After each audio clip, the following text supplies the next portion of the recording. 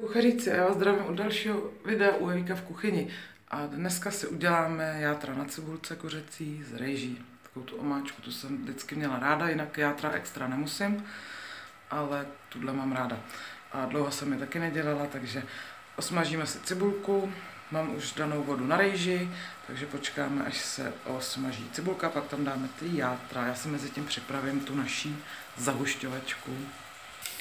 Tak cibulka už mám už je skoro hnědá, takže tam dáme ty játra. A já totiž, když koupím ten půlkilový balíček jater, tak já z něj udělám čtvrtkilový, protože já to strašně pitvám.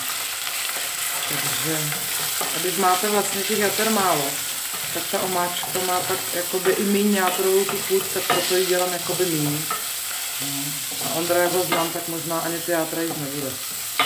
No, takže odestřem si játra přidáme tam kmín, pepř, sůl až díl, protože játra se nesolí hned a necháme to podusit a mezi tím si ještě dáme vařit tu rejži. Tak, ty játřička by mohly za chvíli už být, což vypadají krásně. Takže rejže už se taky vaří, takže jsem tam dala sůl ještě ne, až tu dám ještě za chvíli. Takže jsem tam dala trošku majoránky, trošku hořtice, drcený kmín a pepř. Jo, já nevím, každý to děláme asi jinak, že určitě někdo řekne třeba, že hořtice tam nepatří, nám to s tím chutná. A teď to má, zatím to má teda nádhernou barvu, to vidíte. Kde je kamera? Tady. No.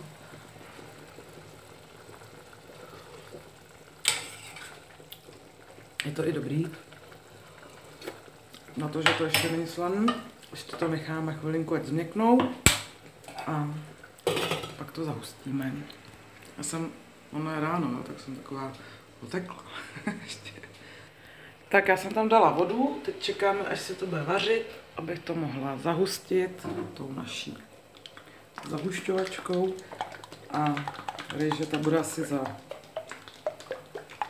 7 minut a tohle to povaříme tak 15 minut. No, takže. Bublá nám to bublá, trošičku dala jsem to na trojku.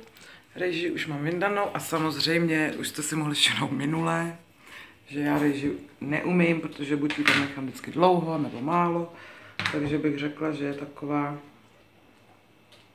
no jako není úplně rozvařená, a kdyby byla trošku sypčí, tak by to bylo asi lepší.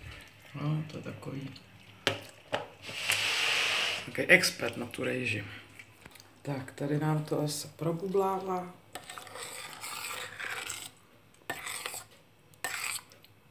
Hustý je to dost.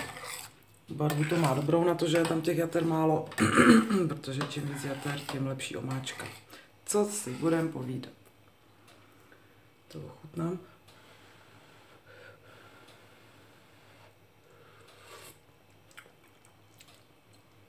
Ještě to malinko dochutím. A já nevím čím. No, až se to ještě pořádně provaří, tak vždycky ta omáčka pak samozřejmě má hned lepší chuť. Ještě to tam pět minutek necháme.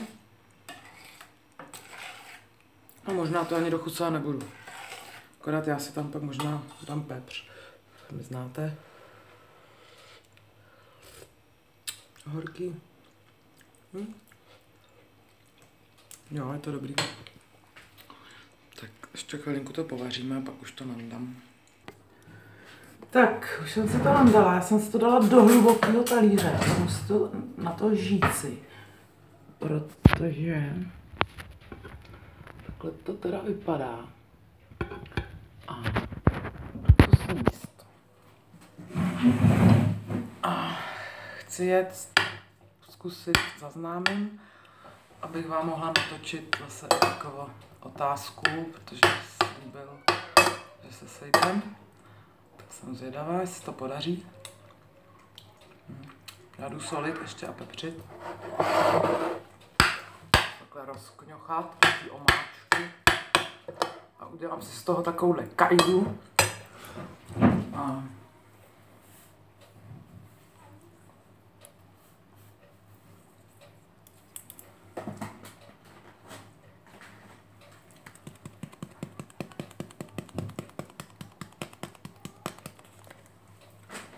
Ještě si tam přidám trochu omáčky.